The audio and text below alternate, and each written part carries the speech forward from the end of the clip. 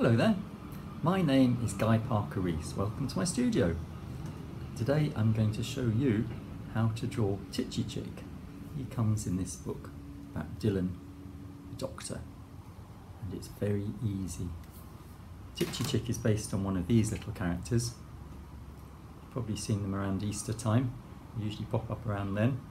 And all you need for this a set of coloured pencils. I'm going to use this big set, you can just use a small set.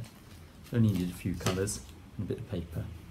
You can even get a small person to do this yellow squiggle at the beginning, and you can add the extra bits and press them as you bring it to life and show them what an artistic genius you are. Have a go. Can't go wrong.